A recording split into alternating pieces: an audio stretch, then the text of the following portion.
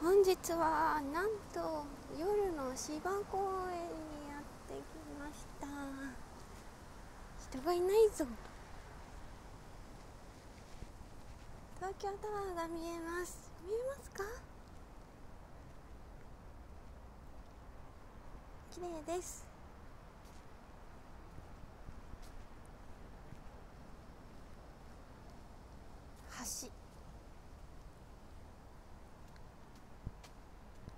島公園をいろいろ回ってみたいと思います。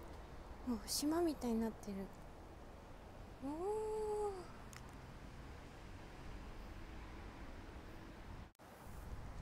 えー、若干、えー、雨が降っていますが小雨ですが、えー、傘を置いてきちゃったので大雨にならない限り、まあ、濡れていこうかなと思います。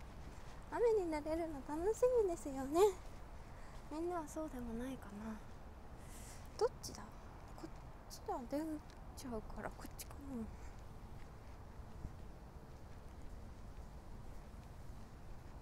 前回ね2.4時間テレビのスポット24か所巡りの時に昼間にちょこっとだけ、来た場所なんですが、まあ、せっかくならねじっくり見た方がいいかなって思って来てみました。行き止まりっぽい。行き止まりではなかったけど公園から出ちゃうな。これ道違いますねきっと。あ犬？犬？犬だ101匹ワンちゃんみたいなワンちゃんが走り抜けていきました。ここは神社なんですね。ここは違うな。えでも神社も気に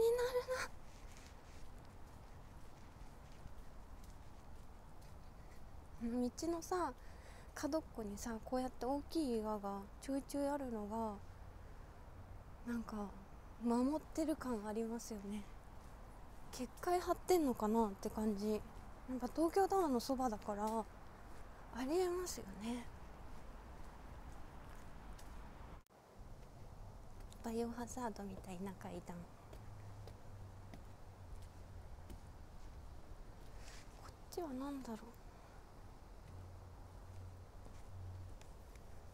お花が綺麗です。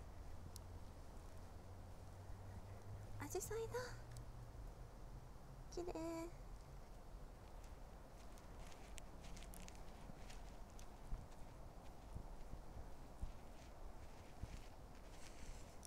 行き止まりっぽいまた神社の方来ちゃったちょっと違いましたね迷子ですなんかねこっち気配を感じるぞ男の人が2人かな潜んでるような感じがする。神社ってことかな。銀世界の梅。梅なんですね。ちょっと時期過ぎちゃったな。残念。でも綺麗。芝公園。前に来た芝公園はどこだ？広いから分かんなくなっちゃう暗いしね。あライト持ってるんですけどまだいいかなって思って。皆さん暗いかもごめんなさい。こ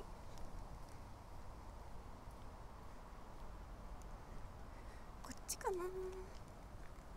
すごい山山っぽい。登るか。登る？すごい緑だよ。めっちゃ幻想的じゃない？綺麗。まあ綺麗だって思った山は貝塚だって。丸山貝塚。貝塚だから噂があるのかもしれないですね。では行ってみましょう。貝塚登っています。東京タワーの方に、まあ、向かって歩けばきっと大丈夫。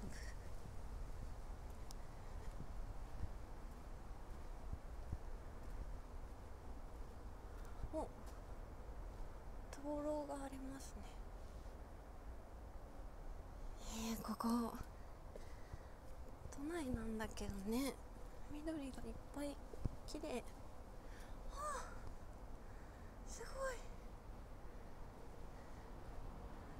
じゃあ立ち入り禁止になってる。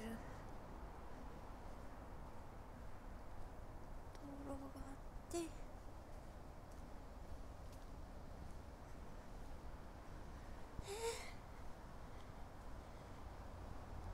えー、えなりさんだ。知らなかったな。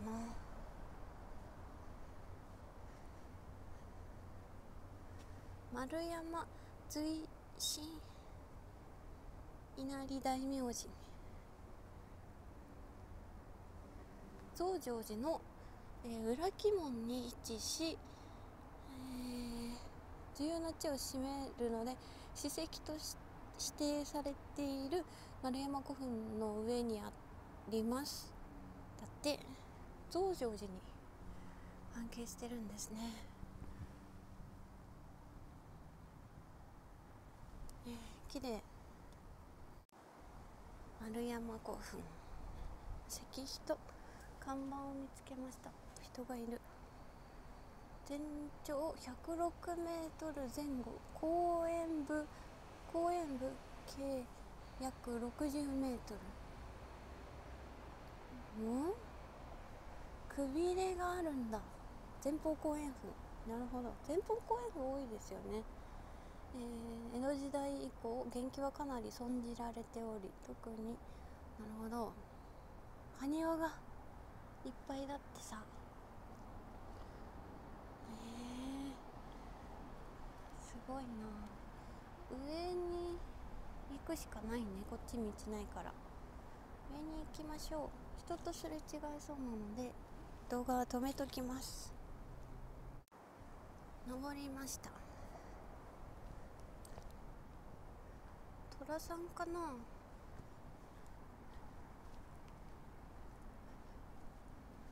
寅さんっぽい。ちょいとお邪魔します。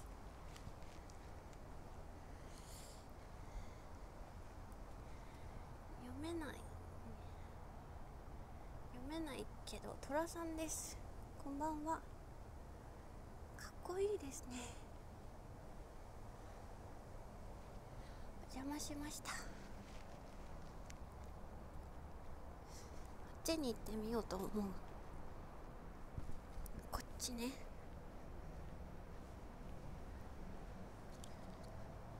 何せこっちしか道がないのだから。あさっきのお稲荷さん上から見える。上から見ていいもんなのかな。見下ろすってあんま良くない気がする。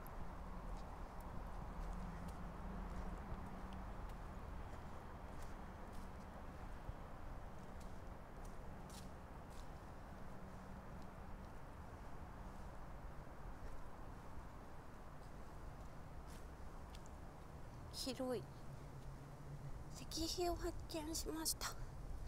また大きい岩がある。やっぱ結界？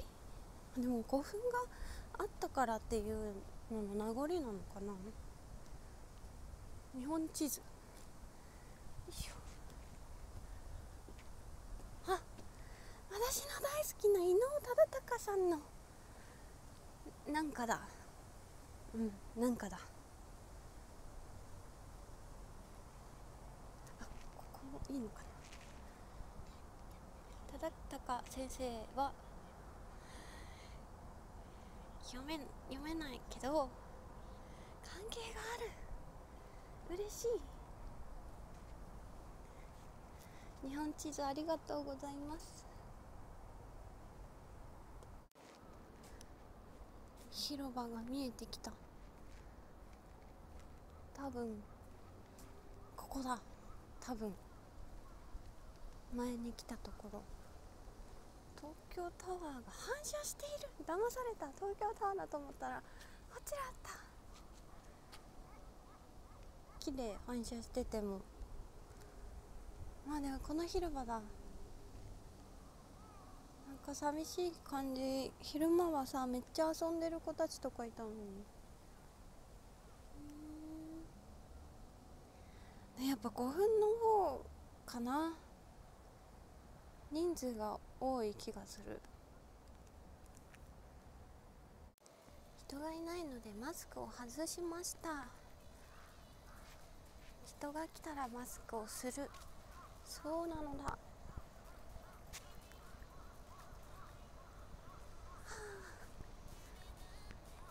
綺麗お花がいっぱいあってとってもいい公園ですね。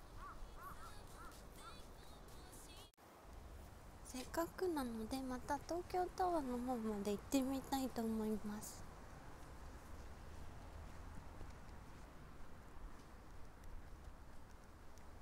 光の道があるぞ。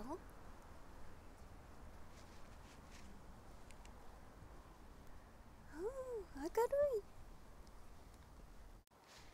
どーん東京タワー。なんかね急に足がものすごく軽くなりました。なんでだろう。パワースポット？なのかな。やっぱ伊能忠敬さんに関係があるから？もうめっちゃ軽い。今日結構疲れてたんだけど。綺麗ですな東京タワー。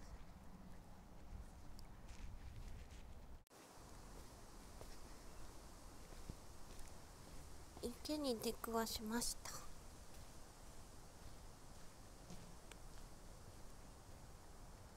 結構浅めの池だ。アメンボがいそう。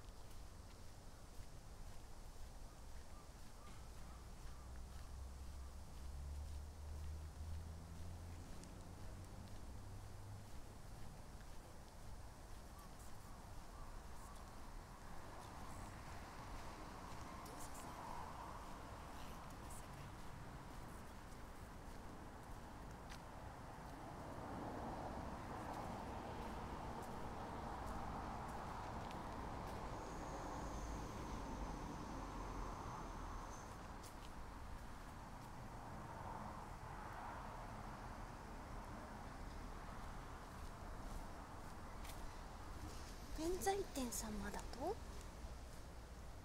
そうなんだ。そういえばあったかもここ。宝珠院さん。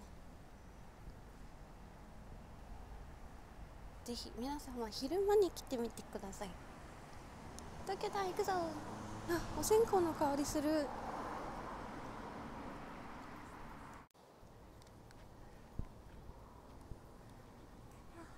着いた巨大です。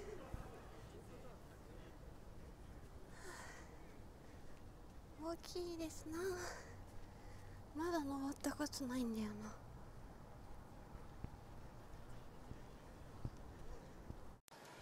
東京タワー。芝公園でした。